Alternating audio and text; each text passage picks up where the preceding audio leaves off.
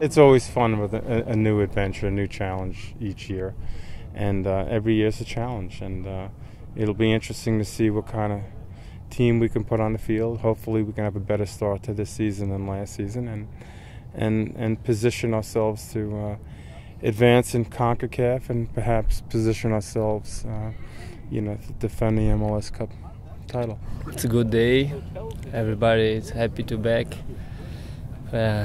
A lot of expe- expectation uh, new season. Uh, to be honest, it's first two weeks very hard for us, but uh, it's nice to see everybody.